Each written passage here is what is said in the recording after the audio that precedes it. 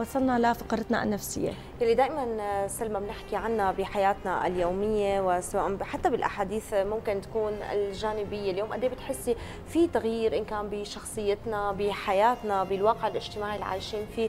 ثورة التكنولوجيا والمعلومات وهي التطورات المتسارعة كثير قد تركت يمكن آثار بحياتنا؟ ما بدنا نقول كلها إيجابية جانب كبير من سلبي سلمى. البعض ممكن يوقع على هذا الموضوع والبعض الآخر ممكن يكون مغيب ويدخل بمرحلة الاغتراب النفسي وكل الأعراض الجانبية السيئة للأسف اللي ممكن تنعكس عليه وعلى أسلوب حياته. صحيح فرح مثل ما قلتي كثير أوقات ثورة التكنولوجيا والتناقضات اللي موجودة بالحياة بتأثر على الأشخاص وتخليهم يعيشوا تناقضاتهم الخاصة الحياتية. ممكن أوقات كثير ما يفرقوا بين بين الشيء اللي هو إيجابي ولازم يعملوه بين الشيء اللي المجتمع لا يتقبله. وبالتالي بيعيشوا بحالة من الاغتراب النفسي اللي كثير العلماء اختلفوا طبعا بتفسيرها وأعطاء أسباب معينة وواضحة. ولكن الصراعات والحروب هي جزء من تشكيل الاغتراب النفسي عند الناس.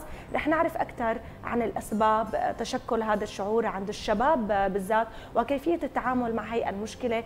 كل هي الأسئلة رح نطرحها على ضيفنا بالاستوديو الدكتور سليمان سلوم وهو طبيب علم نفس وأيضا اختصاصي بالصحة النفسية. يسعد صباحك واهلا وسهلا فيك.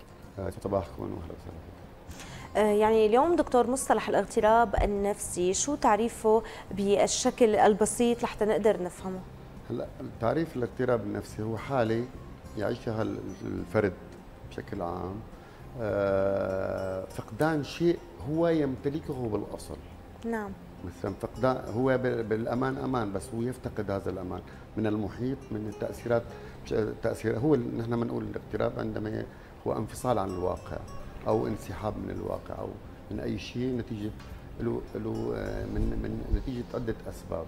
آه هذه الحالة من من آثارها أو أو حتى نتيجة شخصية المتفككه التي تفتقد الثقة بالنفس. هي أساس مرتكز من مرتكزات الشخصية هي الثقة بالنفس. عندما تفتقد تفتقدي هذا المرتكز ندخل في حالة الاغتراب النفسي.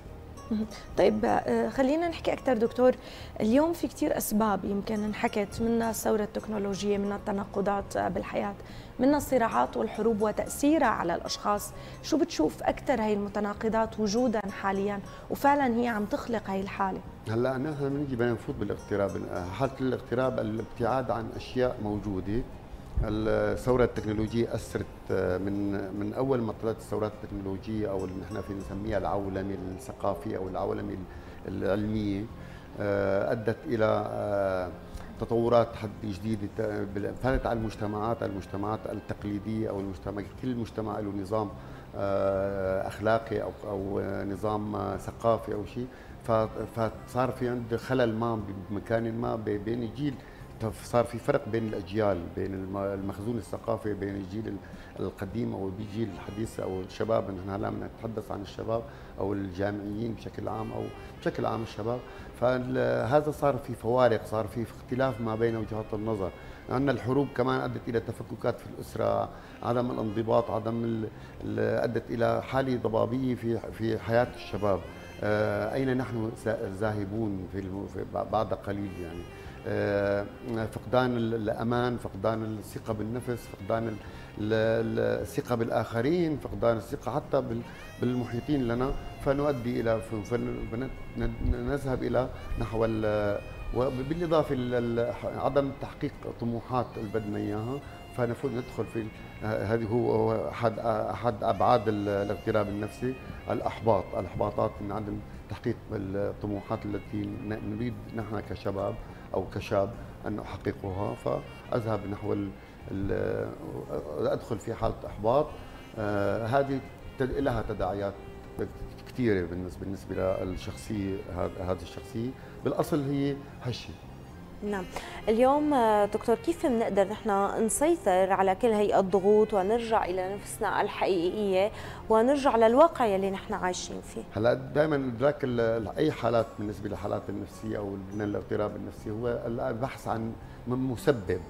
هلا نحن عندنا الأبعاد الأبعاد عندنا الأحباط عندنا الحالة العجز تؤدي إلى العزلة تؤدي إلى إلى التفكك فقدان الثقة بالنفس. حبطت بمكان ما انسحب أعيش بعزلتي. عدم التواصل مع مع المحيط والمجتمع عدم تفهم افكار الآخرين عدم استقبال آه، بنظرات آه، دائما لها علاقة بالتأثيرات ما بين بالمجتمع في نبذ وقبول. عدم التوافق ال ال بالنسبة للتو... أنا متفق معكم ولا ما متفق؟ متوافق؟ هل أستطيع أن أستمر أو يعني بالنسبة لل... بالمهن بال... بأي شيء كل كلياتنا بنعيش الحالة يعني. آه، هل آتي إلى مكان لا؟ غير مقبول فيه. هون اغتراب. هل أذهب إلى اختصاص جامعي؟ أنا ما بحبه. تلاقي بيشعر حالة اغتراب بالنسبة للشاب آه هذا تستدعي إلى الوصول إلى مكان ما هو يعيش حاله هذا الشاب حالة نوع من الانفصال عن الواقع. آه لها تأثيرات التنشئة الاجتماعية الاسرويه بتلعب دور آه عادات المجتمع تقاليده التفهم أو اندماجه لها الشاب بالمجتمع. آه، يعني كلياتها آه، بتروح بنحو آه، نقطة معينة هو الوصول إلى حالة من الابتعاد عن المحيط الاجتماعي والمحيط حتى الثقافي لهذا الشاب طيب دكتور كثير أوقات بتتخطى هي الحالة العزلة.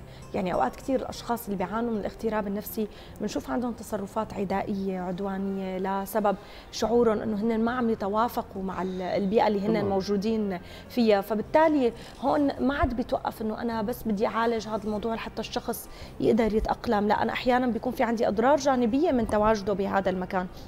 كيف بتصنف هي الحالة؟ هلا أكيد. أنا وصلت لمرحلة نوع محبط. فأنا بدي افرغ إحباطي. إجت حالة ضغط من من الخارج صرت مستفز. فأنا صار عندي ردة فعل سلوك عدواني إجباري. يعني أنا يعني بالنسبة للموضوع ها أي موضوع بيعيشه الإنسان يعني.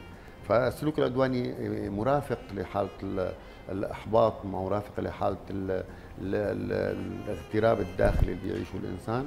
يصبح إنه المحيط اللي حواليه بعد ما كان إيجابي أو سل أو محيط دافئ يصبح هو محيط بارد وعدواني بيشعر فيه انه كل الناس ضده.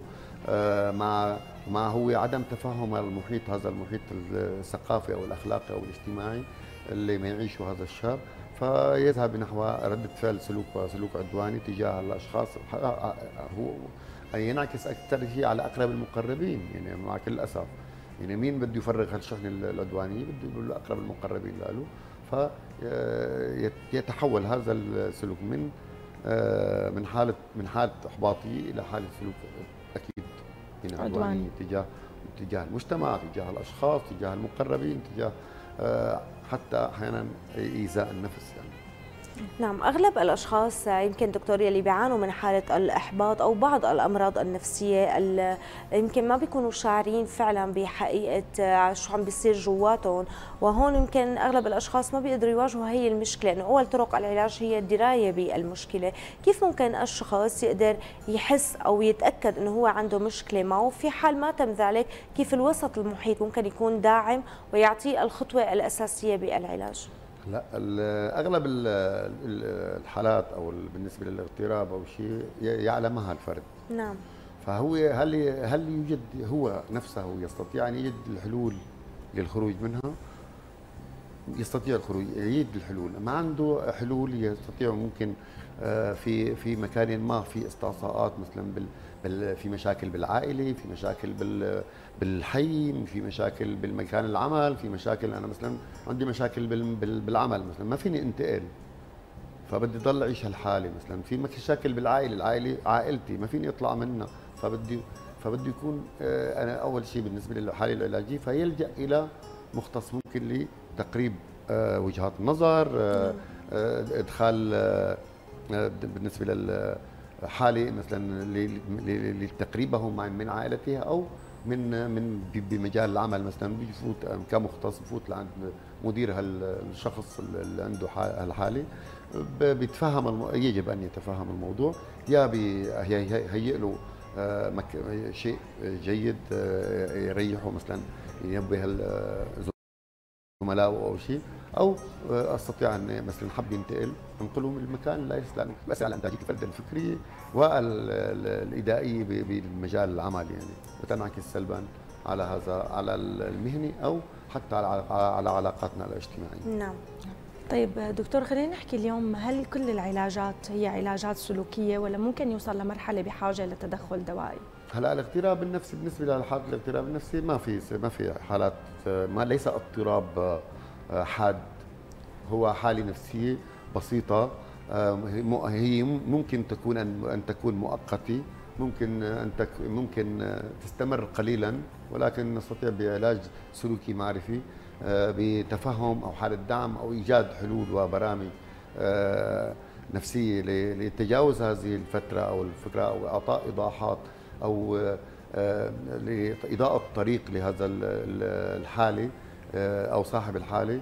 أنه يجد الحلول أو إيجاد أو تمليكه من مهارات إيجاد الحلول له فيستطيع أن هي حالة بسيطة وليست من المعقدة ممكن. نعم. آه وليست وليست تستدعي طبيب أو وصف أو دواء يعني.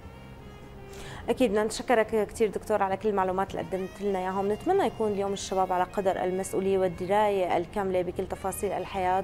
ما نقع ابدا لا بالأحباط ولا بالإكتئاب. شكرا لك. نحن في نوهنا أحيانا حاله الاضطراب أو شيء الضغط النفسي يؤدي الحاله السلبية أن نتجاوزها بإيجابية. نعم.